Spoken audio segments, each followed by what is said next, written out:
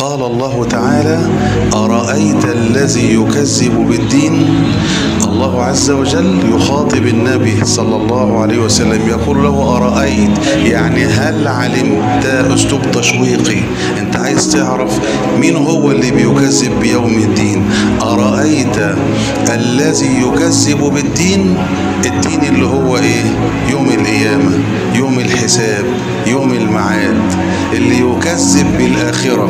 يبقى ما بعد الآية ديت هي صفات الذين يكذبون باليوم الآخر. من هم أرأيت الذي يكذب بالدين؟ أول واحد قال فذلك الذي يدع اليتيم. يدع اليتيم يدع يعني يقهر يقهر اليتيم. يقسو على اليتيم. ده من المكذبين بيوم الدين. مين هو اليتيم يعني أنا أبويا ميت. ينفع يطلق علي يتيم ولا لأ؟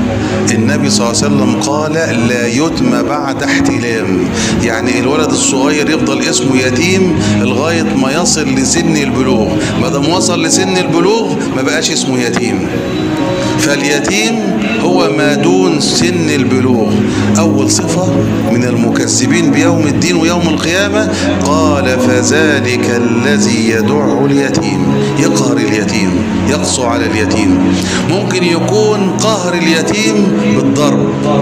ممكن يكون قهر اليتيم بالشتم. ممكن يكون قهر اليتيم من حرمانه من ميراثه من أبيه. كل ديت صور لقهر اليتيم. فذلك الذي يدع اليتيم. ولا يحض على طعام المسكين. الصفة الثانية بقى. لا يحض على طعام المسكين يعني لا يحث على إطعام الفقراء. المسكين اللي هو الفقير. بس يا ترى إيه الفرق؟ هل في فرق ما بين المسكين والفقير ولا المسكين هو الفقير؟ ما هو في آية تانية في القرآن تقول لك إيه؟ آه إنما الصدقات للفقراء والمساكين.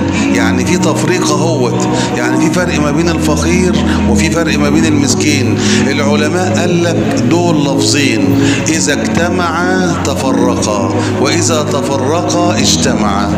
يعني لو لقيت لفظ واحد بس زي في الآية كده فذلك الذي يدع اليتيم.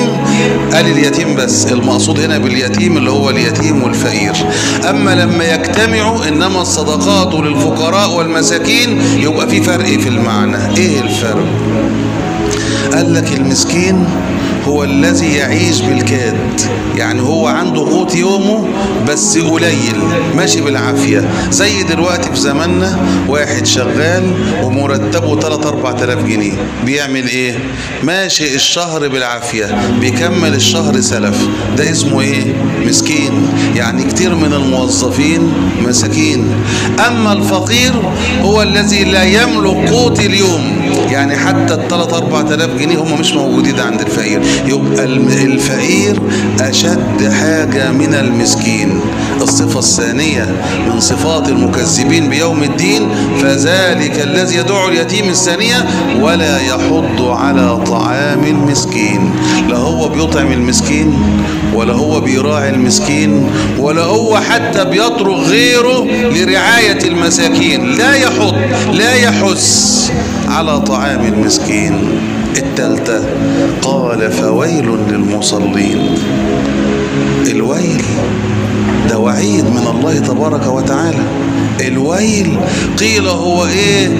قيل هو واد في جهنم. وبعض المفسرين قال لك ده الويل دوت سجن في جهنم. لمين؟ للمصلين. لا مش هنقف على كلمة المصلين. الذين هم عن صلاتهم ساهون. يعني إيه عن صلاتهم ساهون؟ يعني يأخر صلاة الظهر ويروح عليه لغاية ما يأذن العصر. يأخر صلاة العصر لغاية ما يأذن المغرب. يأخر صلاة المغرب لغاية ما يأذن العشاء. ساهي لاهي غافل عن الصلاة. ده الويل لمين ده بيصلي بس متقطع. توعد الله عز وجل له بالويل والهلاك والعذاب. امال اللي ما بيصليش خالص اللي ما بيصليش خالص ده كافر بالله.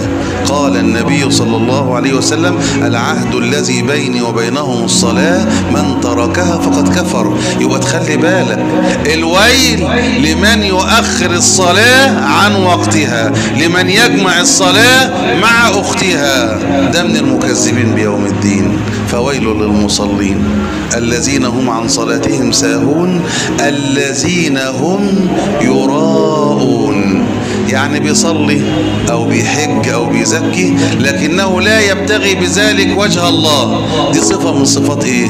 المنافقين.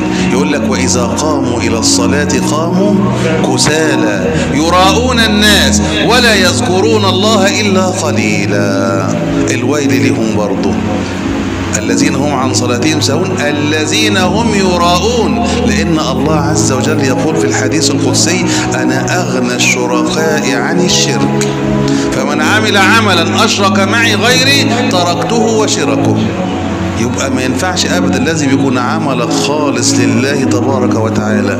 الذين هم يراءون ويمنعون الماعون. يعني إيه الماعون؟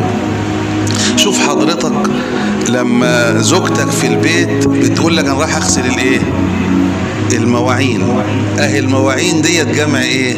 معون. يبقى المعون كما قال بعض المفسرين هو أدوات البيت زي الطبق والحلة والطاسة وما شابه ذلك. حاجات اسمها تسمى عاريه مستعارة. بعض الفقهاء قال لك الماعون دوت اللي هو المية.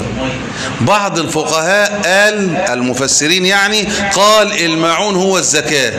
سواء منع الزكاة ده متوعد من الله تبارك وتعالى. الذي يمنع الماء لأن خلي بالك الناس شركاء في الماء. لازم كلنا نشرب. واخد بالك؟